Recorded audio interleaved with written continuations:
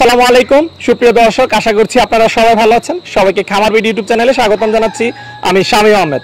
দর্শক বন্ধুরা, আজ আমরা চলে এসেছি নারায়ণগঞ্জ জেলার সোনারগাঁও থানার কালীগঞ্জে। তো আজকে আমরা এসেছি এখানে একজন চীনা নারী উদ্যোক্তার মুরগির খামারে। তো আসলে এখানে দেখতে পাচ্ছেন, এই যে চীনা যে নারী উদ্যোক্তা এবং পাশে দেখতে পাচ্ছেন আমাদের ফিরোজ ভাইকে। প্রীতিপূর্বে আমরা ওনাদের একটি প্রতিবেদন আপনাদেরকে দেখিয়েছিলাম। তো মূলত আবারও ভাইদের ফার্মে আসার কারণ হচ্ছে, কারণ ইতিপূর্বে ওনাদের ফার্মটি ছিল ঢাকার যে পাশে গাজীপুর গাজীপুর, কালীগঞ্জে, আর এখন ওনারা চলে এসেছেন নারায়ণগঞ্জ নারায়ণগঞ্জের যে কালীগঞ্জ, সেই কালীগঞ্জে। তো এখানে এসে ওনারা নদীর পারে সুবিশাল এরিয়া নিয়ে প্রায় ছয় একর জায়গার উপর ওনারা খুব সুন্দরভাবে এখানে খামারটি শুরু করেছেন। এবং আপনারা জানেন যে ওনারা খুব ইউনিক প্রজাতির কিছু মুরগি, যেমন চীনা দেশি মুরগি এবং হচ্ছে সিল্কি মুরগি, যেটা একদম পিওর ব্রিডের সিল্কি মুরগি। সেই জিনিসগুলো নিয়ে এবং আরও বিভিন্ন ইউনিক প্রজাতির মুরগি রয়েছে ওনাদের ফার্মে সেগুলো নিয়ে ওনারা কাজ করতেছেন। তো আজকে আমরা আপনাদেরকে সেই মুরগিগুলো সম্পর্কে বিস্তারিত তথ্য জানাব যে আসলে ওনারা এগুলো কি উদ্দেশ্যে করতেছেন এবং এগুলোর কি কি সুযোগ সুবিধা রয়েছে বা আমাদের দেশের আবহাওয়া অনুযায়ী এগুলো কতটা বাণিজ্যিকভাবে লাভজনক সেই সম্পর্কে আমরা আপনাদেরকে জানাব। বা আপনারা যারা এই ধরনের মুরগি পালন করতে চান, আপনারা কীভাবে এখান থেকে সংগ্রহ করবেন এবং কীভাবে লালন পালন করবেন সেই সম্পর্কে তো দর্শক বন্ধুরা আশা করছি ওনাদের এই মুরগির লালন পালন সম্পর্কে বিস্তারিত জানতে পুরো আয়োজন জুড়ে আপনারা আমাদের সাথেই থাকবেন। আর ভিডিও যদি ভালো লাগে তাহলে লাইক ও শেয়ার করার অনুরোধ রইল।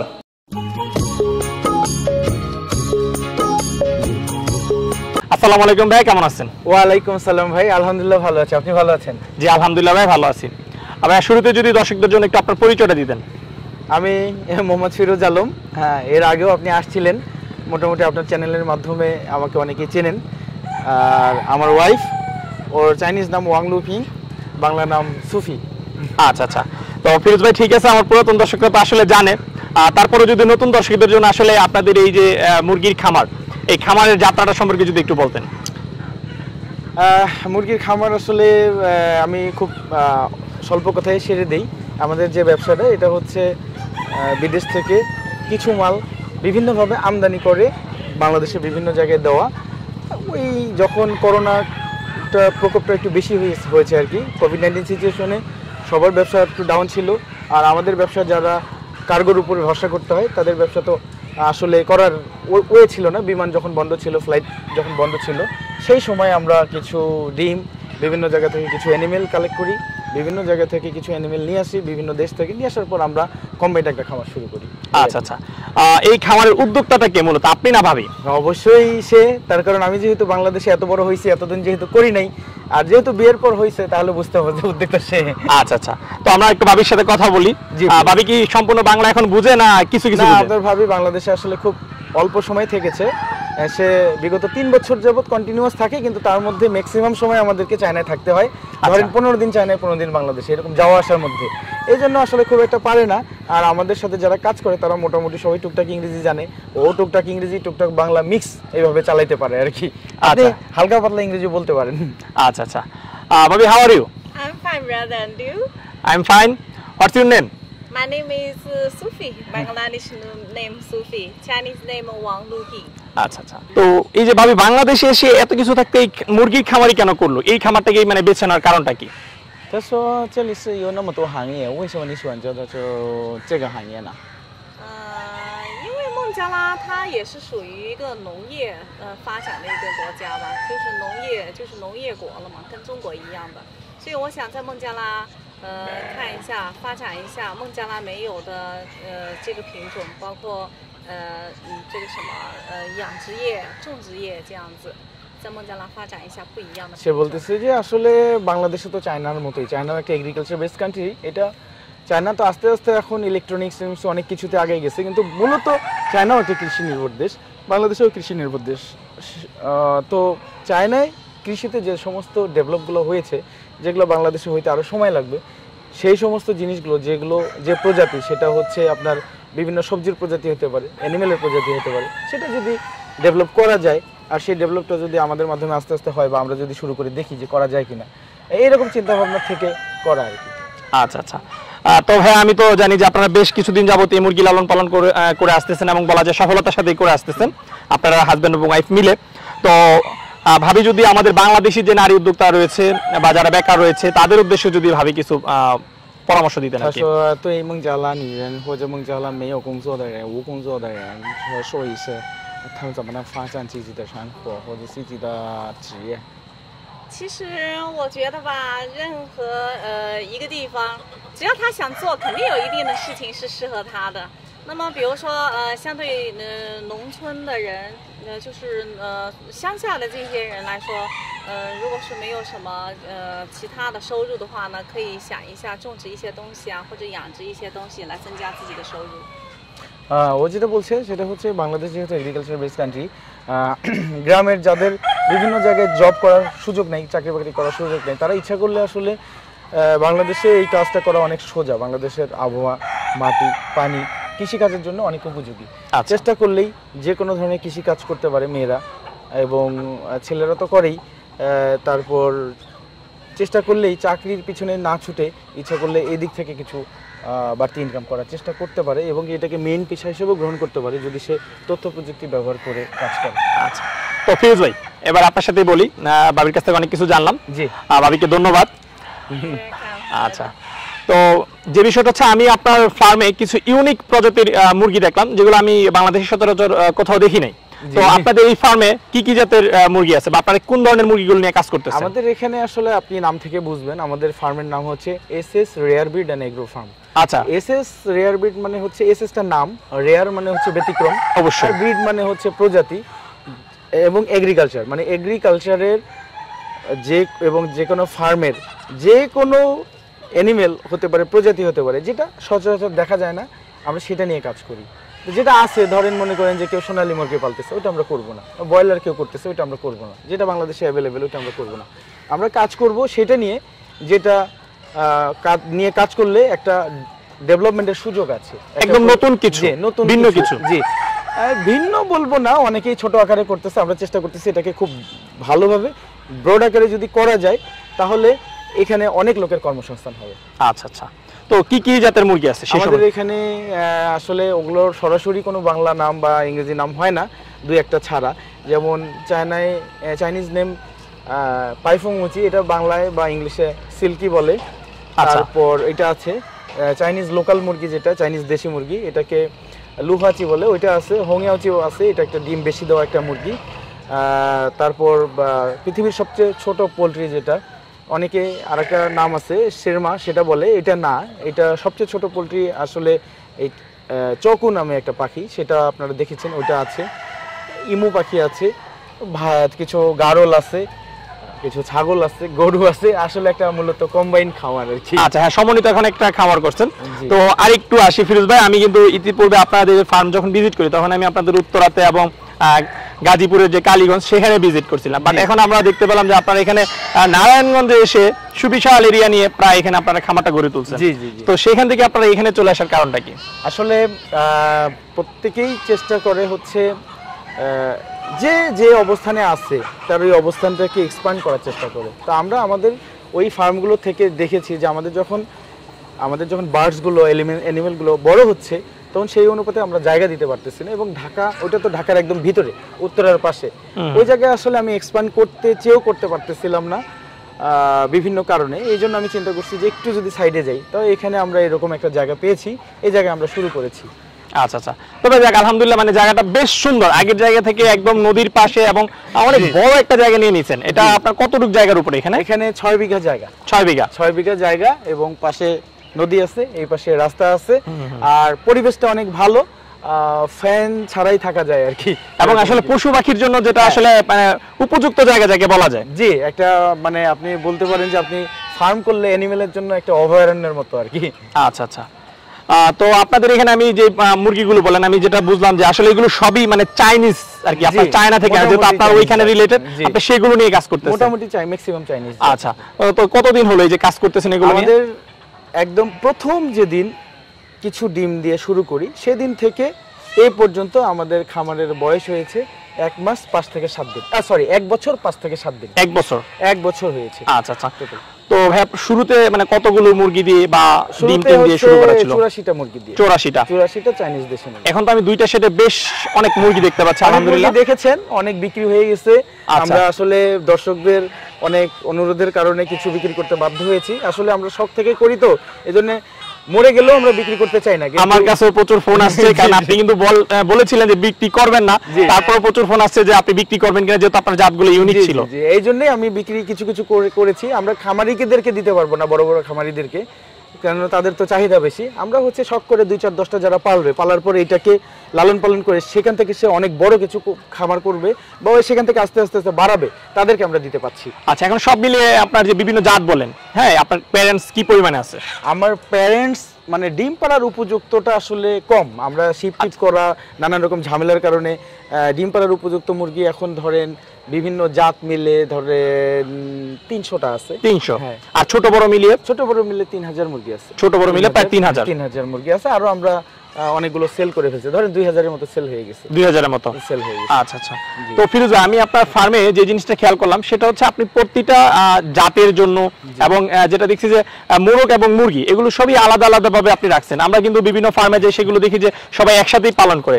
তো আপনার মাঝে আমি ভিন্নতাটা দেখলাম। এর কারণটা কি? এটার কারণটা হচ্ছে প্রত্যেকটা মুরগির জাত বৈশিষ্ট্য অনুযায়ী কোনোটা গরম কম সহ্য করতে পারে, কোনোটা বেশি সহ্য করতে পারে, কোনোটার স্বভাব একরকম কোনোটা ভাত বেশি খায়, কোনোটা ফিট বেশি খায়, কোনোটা শাকসবজি বেশি খায়, কোনোটা শাকসবজি পছন্দই করে না। এই জাত বৈশিষ্ট্য অনুযায়ী আমরা আলাদা আলাদা রুমে রেখেছি। তার যে স্বভাব চরিত্র, এটা ঠিক রাখার জন্য।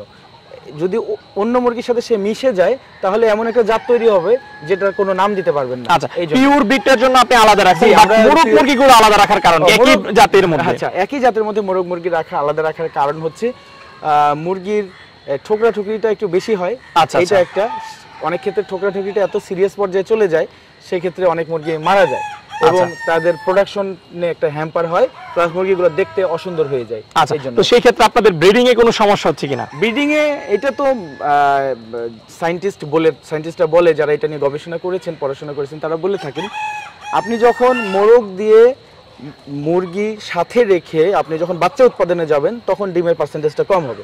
আচ্ছা। আর যদি আপনি মোরগ ছাড়া শুধুমাত্র লেয়ার মুরগি হিসেবে পালেন শুধু ডিম উৎপাদন করেন তখন ডিম উৎপাদনটা বেশি হবে। তো যেহেতু আমরা এটা বাচ্চা উৎপাদন করতেছি সেহেতু আমাদের কিছু প্রোডাকশনটা কম হবে এবং কিছু হ্যাম্পার হয়। কিন্তু তারপরেও সেটাকে মেনে নিয়ে আমরা চাচ্ছি যে এই জাতগুলো ক্রমান্বয়ে চলতে থাকুক বাড়তে থাকুক আর কি। আচ্ছা আচ্ছা। তো ফিরোজ ভাই একটু লালন পালনের বিষয়ে আসি। আপনারা এগুলো কীভাবে লালন পালন করছেন? খাবার দাবার কি কি দিচ্ছেন? আমরা লালন পালনের ব্যাপারে আসলে আমি এর আগে আমার তো মোটেও এক্সপিরিয়েন্স ছিল না। আচ্ছা। আমি কিছুদিন যাবত একটা ট্রেনিং এর সাথে সংযুক্ত। এখানে আমাদের স্যার ম্যাডাম যারা আছেন তারা অত্যন্ত ভালো। তারা ঠিক যেভাবে বলতেছেন আমি সেইভাবে লালন পালন করার চেষ্টা করছি।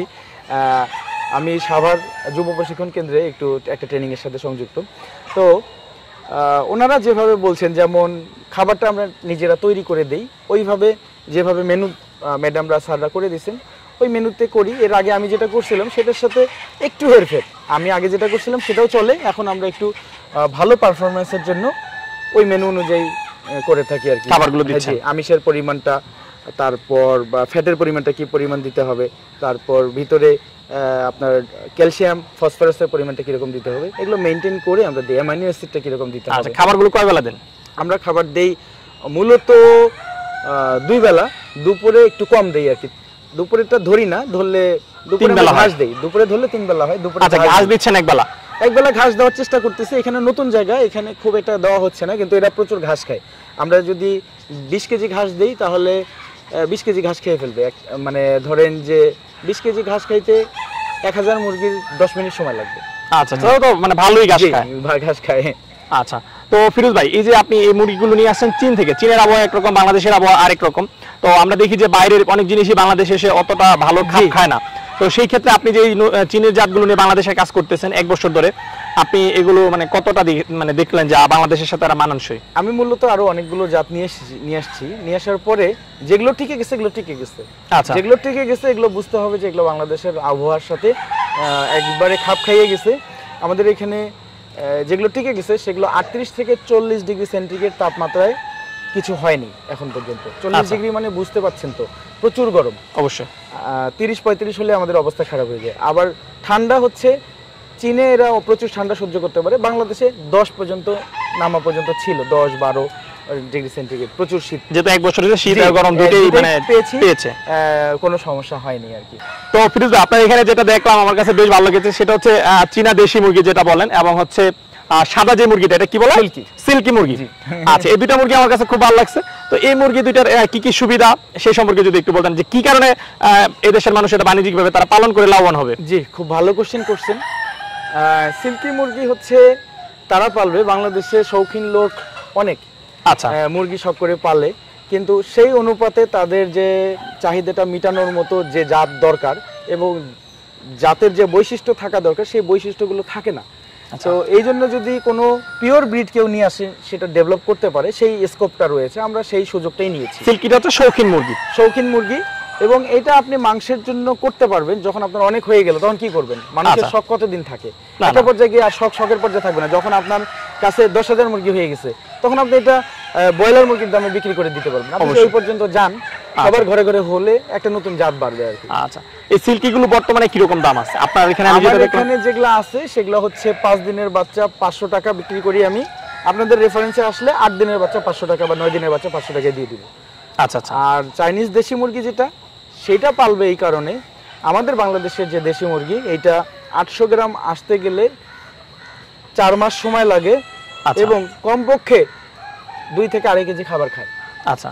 এটা একদম কিছু না দিল কিছু খাবার না দিল আর এইটা আমাদের এইটা বাইরে ছেড়ে দিয়ে পারলে খাবার না দিলেও চলবে। এরকম একটা ব্যাপার। সন্ধ্যার সময় খাবার দিয়ে ঘরে উঠাবেন গ্রামে বাইরে অন্য দেশি মুরগির মতো পালবেন। সকালবেলা ছেড়ে দিবেন খাবার দেওয়া ছাড়া খেয়ে সন্ধ্যায় আসবে সন্ধ্যায় একটু খাবার দিয়ে উঠাই দিবেন।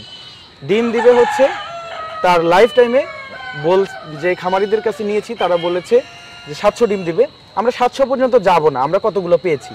আমরা এ পর্যন্ত সোয়া দুইশো থেকে আড়াইশো ডিম আমরা পেয়ে গেছি। অলরেডি হ্যাঁ অলরেডি এখন ও আমরা কেন সাতশো ডিম পাই নাই? কেননা সাতশো ডিম পাওয়ার মতো যে সময়টা দরকার ওই সেটা সময়- পান না, কারণ এক বছর হয়েছে, শুরু বছর হয়েছে মাত্র। তো এক বছরে যেটুকু পাওয়া দরকার আমরা নন স্টপ পেয়েছি। অনেকে কোশ্চেন করে থাকেন যে মুরগি কি গ্যাপ দেয় কিনা। হ্যাঁ মুরগি ডিম পাততে গেলে একটানা তো সম্ভব না। একটানা সম্ভব না। গ্যাপ দিবে।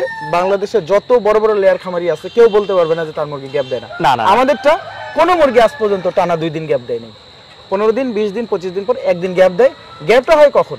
যখন তার বিভিন্ন ধরনের শরীরের খনিজ পদার্থের ঘাটতি পড়ে ডিম পড়তে পারতে পারতে দুধের গাভী গরু যদি দুধ দোয়াইতে দোয়াইতে ক্যালসিয়ামের ঘাটতি পারে মুরগিরও এরকম। বিভিন্ন ধরনের খনিজ পদার্থের ঘাটতি পড়ে ক্যালসিয়াম হতে পারে ফসফরাস হতে পারে। এগুলো যখন ঘাটতি হয়ে যায় তখন সে বসে যায় আর ডিমটা পারতে পারে আচ্ছা। এটাকে আমরা ওমে আসা বলি। আচ্ছা। তখন ওই আর আর দুই দিন খাওয়া দাওয়া করে আবার ইয়ে করে। আর আমরা তো কন্টিনিউয়াস খাবারের সাথে এই জিনিসগুলো দিচ্ছি। যার কারণে আর ওই গ্যাপটা হয় না। তাহলে যেটা বুঝলাম যে আপনার যে চায়না দেশি মুরগিটা সেটা মাংসের জন্য এবং ডিমের জন্য দুইটার জন্য বেশ লাভজনক। জন্যই ভালো কেননা চায়না দেশি মুরগিটার ওয়েট আসে। মোরগ মুরগিটা আমাদের এখানে আড়াই তিন কেজি আছে। মোরগটা সাড়ে চার পাঁচ কেজি হয়। আমরা আচ্ছা। পাইছি এখন চার কেজি সাড়ে চার কেজি পর্যন্ত। আচ্ছা আচ্ছা। এবং অনেক বড় হয়। ঠিক আছে। মাংসটা অনেক টাইট ফিরোজ ভাই আপনি এইখানে যে ইনভেস্ট করতেছেন এখন পর্যন্ত কি আপনি লাভ লসের হিসাব করছেন না শুধু ইনভেস্টই করে যাচ্ছেন? আপনি খুব ইম্পর্টেন্ট কোশ্চেন করছেন। আসলে যে কোনো খামারে আপনি যেহেতু অনেক খামারে যাতায়াত করেন আপনি জানেন।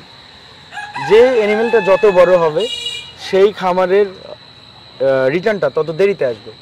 মুরগিতে আমরা একটা মুরগিতে আমরা মনে করি খুব ভালো রিটার্ন পেয়েছি সেটা হচ্ছে চায়না দেশি মুরগি। আচ্ছা। এটা আমি মনে করি যে আমরা আসলে কি ইনভেস্ট করছি এই সেই অনুপাতে আমরা রিটার্ন পাবো না তার কারণ আমার এখানে বাইরে কোনো লোক নেই। আমার অফিসের আমরা এর আগেও বলছি যে আমার অফিসের স্টাফ এবং আমরা সবাই মিলে কাজ করি। আপনি যদি আমাদের শ্রমের মূল্য ধরেন তাহলে এটা আসলে লস আচ্ছা। আচ্ছা আমাদেরটা ধরা যাবে না। আমি বলব যে সমস্ত বেকার যুবক যুবতী বাসায় বসে থাকেন কিছু করছেন না তারা যদি করেন তা মাসে বিশ থেকে পঞ্চাশ হাজার টাকা ইনকাম করা কোনো ব্যাপার না। যদি এই এইভাবে আমরা যেভাবে লালন পালন করি এইভাবে সে পালন লালন পালন যদি করেন। আচ্ছা নিজের শ্রম দিয়ে? নিজের শ্রম দিয়ে বাসার তার সাথে একটা লোক থাকতে পারে। কিন্তু আমরা তো অনেক লোক এখানে কাজ আমাদের অনেক লোক কাজ করে আপনাদের আর সময় লাগে এক দেড় বছর এখান থেকে রিটার্নটা পাইতে। জি মনে হয়। না রিটার্ন আপনি আমাদের শ্রম বাদ দিলে রিটার্ন পেয়ে গেছি কিন্তু আমাদের শ্রম তো ধরতে হবে। আচ্ছা আচ্ছা। আমাদের আমাদের ব্যক্তিগত কাজের জন্য চার পাঁচজন লোক লাগে। সেই লোকগুলো আবার এখানে কাজ করতেছে তার সাথে আমরা কিছু লোক অ্যাড করছি। তো এখন আমার যদি মাসে তিন লাখ টাকা খরচ হয় তিন লাখ টাকা নিশ্চয়ই আমি মুরগি বিক্রি করে করতে পারব না। না, না, না। বিশ পঞ্চাশ হাজার টাকা ইনকাম করা কোনো ব্যাপার না। আমার প্রতি মাসে ধরেন পঞ্চাশ হাজার থেকে এক লাখ টাকার সেল আছে আচ্ছা, কিন্তু আমার খরচও অনেক। ঠিক আছে। এই আর কি। তো ফিরোজ ভাই আমরা সন্ধ্যা হয়ে যাচ্ছে পরিশেষে যে বিষয়টা অনেক কথাই বললাম হয়তো আর কিছু কথা বলতাম সন্ধ্যার জন্য বলতে পারতেছি না। তো ইতিপূর্বে যখন করছি অনেকেই ফোন দিয়েছিল যে এই সব মুরগি আপনি বিক্রি করেন কিনা তারা সংগ্রহ করতে পারবে কিনা। তো আপনি তো বললেন যে এখন টুকটাক কিছু বিক্রিও করেন। তো যদি তারা নিতে চায় যেহেতু আপনি একটু ইউনিক জাত কাজ করতেছেন তারা আপনার কাছে কীভাবে সংগ্রহ করতে পারে সংগ্রামের সংগ্রহ করার পদ্ধতিটা যদি একটু বলতেন। আমার আহ, প্রথম শর্ত হচ্ছে তাকে আমার খামারে এসে খামার ভিজিট করতে হবে। অন্য অন্য অনেকে বলবে যে খামার ভিজিট যারা খামার ভিজিট করতে দেয় না। আমার কথা হচ্ছে, সবাই খামার ভিজিট করে আমার এখান থেকে সুস্থ মুরগি নিয়ে যাবে। সে যদি চিটাগাঙের লোকও হয়, আমি তাকে গাড়িতে দিতে পারব না, পরিবহনে দিতে পারব না। এই ব্যবস্থা আমাদের নাই। খামার ভিজিট করতে হবে এবং মূল্যটা ঠিক থাকতে হবে। ওইভাবে আমাদের গাইডলাইন অনুযায়ী কাজ করলে সে সংগ্রহ করতে পারবে।